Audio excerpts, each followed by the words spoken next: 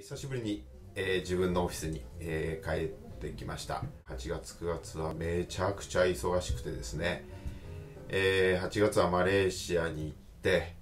えーそれからマイアミに行ってでその間にウェブセミナーをやり、えー合間に、えっと11月に発売される新刊の執筆ですねをやり、えー9月にはレースをやりで、えー社員旅行でグアムに行き親検定のマスターの審査をやり、えーやっと一息、えーついた感じになってます。ちょっと疲れた感じになってますか？顔が疲れてますか？じゃあちょっと顔洗ってきて、それではあ気を取り直して、えー今回のミニセミナーいきたいと思います、えー脱法ハウスの話をしたいと思いますが、えーこの脱法ハウス、えー脱法シェアハウスですね、えー世間業界を騒がせておりますけれども、えー皆さんこのニュースをですねどのように捉えておりますでしょうか？まあ事の発端はですねえー今年5月にえっと中野区で、えーあるそのシェアハウスにですね救急車が入ったと。でその時に、えーちょっとこれおかしいんじゃないの？っていうことで、えーまあ消防の方からですね、えーむしろおこれはちょっと危険なんじゃないかということであこれは共同住宅ですから、え自家宝とかですね、えそういったあのものをつけてくださいというふうな指導が入ったんですね。ネットカフェをあの前前回で持ってまして、えーこのネット難民をですねこれ住まわせれば儲かるだろうということだったと思うんですが、えー一軒家を改装してですね、えー都内に10箇所ほど持ってるんですけども、まあ、一部屋えーっと1.7畳わずか1.7畳に、えーですねえーとこ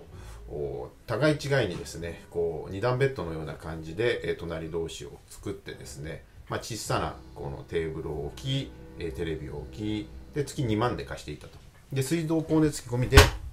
まあ、えー、大体45万で貸していたということなんですね。脱法ハウスこういう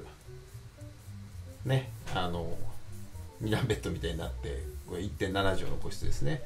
で例えばですねこういうことをする人もいるんですよ。これは江戸川区のあるあの、えー中古分譲マンションを買ってですねこういうふうに、えーなんと 9, 9人9人で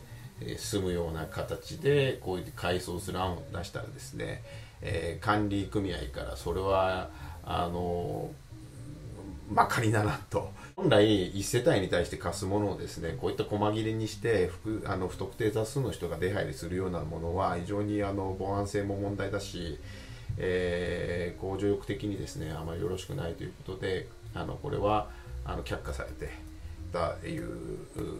プロジェクトです。これは消防法でいうと、まあ、自家法をつけるだけで済むんですけれども建築基準法的に言うとですねこの共同住宅の用途というのは、えー避難路を確保しなきゃいけないということになって、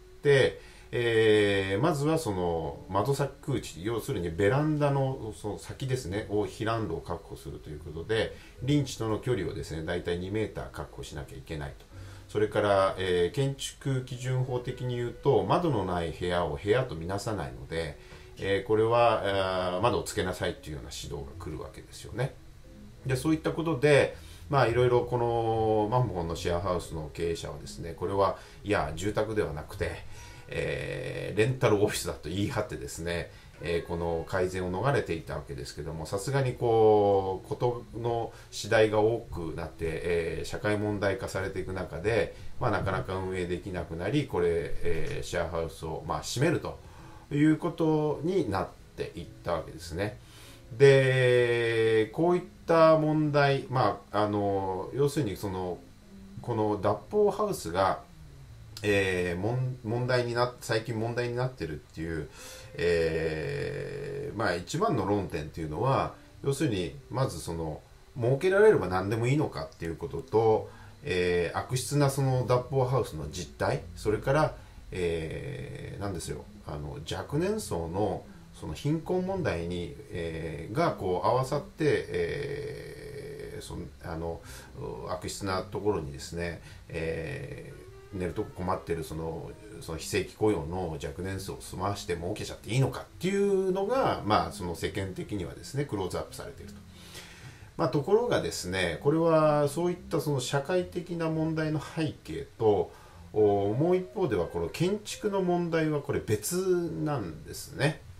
だからそこを切り離していかないといけなくて、まあ、要するにあの儲けられれば何でもいいのか悪質なところに済ましてとんでもないやつだっていう論点とあの我々その業界の人間からするとですねこの、えーと、実はその建築の問題というところであの非常にその住宅なのか共同住宅なのか、えー、寄宿舎なのかによってその建築がその、えー、規制に合うように用途に合うようなその要するに作りになってないといけないというところで、まあ、これがあのいわゆる行政の、えー、指導が注目されてたところなんですね。でこれがあの先頃ですね、えー、9月にですね、えーえーと、国土交通省の方からあのこれは寄宿舎であると。いうと限定されてですね各地方自治体に、え、適切な改善を求めるようにという指導が出たわけですね。で、えー、これ寄宿舎と共同住宅が何が違うのかっていうと寄宿舎っていうのは、まあ、いわゆる共同住宅の用途と用途っていうか、まあ、規制はその窓先空地だとか、えー、最高の問題だとかっていうのと含めて今度は隣同士の部屋の外壁ですね間を順防化対応にしなさいよと要するに、えー、耐火仕様にしなさいっていうことなんですね。ということは例えば、えー、5LDK の一軒家をですね、えー、1部屋ずつ貸してるシェアハウスがこれ寄宿舎ですよっていう、まあ、国土交通省の理論で言うとこれ寄宿舎に当たるのでそうすると隣同士の部屋の外壁をですねこれ耐火仕様に準耐火仕様に改修しなきゃいけないと。でこれに中各、えー、地方の地方自治体の担当者はですねえー、まあそんなあの一律にねくくってそれ改善なんかできないというふうにして反発をしているわけです。あのー、これはですねいわゆるそのまあ、安全性？建築の観点から言うと安全性と居住性をここをしっかり、えー、やらなきゃいけないと。それと、まあ、一方でその世間的な、えー、悪質な脱法ハウスにですね、えーと、非正規雇用の若年層を済まして儲けてるみたいなそういう本来あの非常に複雑で、えー、複雑で社会的な問題をこれをですね寄宿舎っていうところだけで通知だけで解決しようとしたっていう行政のこれは問題はすごく大きいと僕は思います。でこの貸しルームのですねシェアハウスも含めたあの業態に対するその法整備っていうのはこれ別に考えなきゃいけないとこれは通知だけであの丸投げしてしまってですねあの解決する問題ではないと私は思ってます。で寄宿舎っていうふうに、まあ、用途の部分で断定したということはこれ建築基準法の問題業法の問題になってくると思います。なので、えー、通知ではなくてやっぱり法改正なりでやっぱ新たにシェアハウスという用途をも設けつつですね、えー、独自の基準を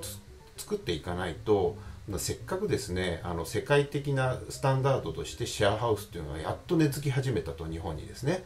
例えばシングルマザー専門のいわゆるその働きに出なきゃいけないでも子供を預かってもらえるところがないみたいなそういうそのシングルマザー向けのシェアハウスで非常にこう受け入れ社会に受け入れられているようなあのシェアハウスもありますしそれから例えば海外に留学する時にですねえー、っと一旦その外国人と一緒にシェアハウスに暮らして英会話に慣れてそこから留学するというような形だとかあるいは田舎からこういろんな芸術家なりそのアーティストなりがこう集うようなシェアハウスとか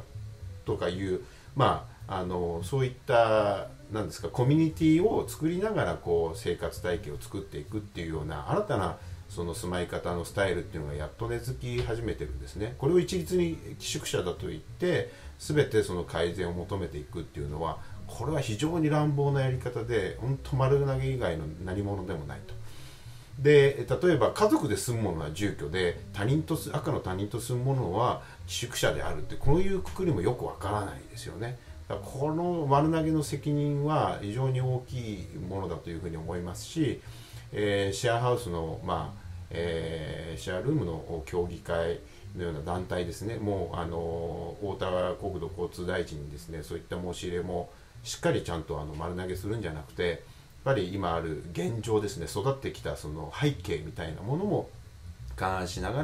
ら慎重な判断を求めていきたいということで申し入れをしています。あのこの問題についてはですねあの非常に複雑であの問題なので、えー、我々もずっと注目していかなければいけないと思いますし、えー、ぜひ皆さんもですね、えー、注目していっていただきたいと思います。まあ、時代の背景もあって育ってきたせっかくその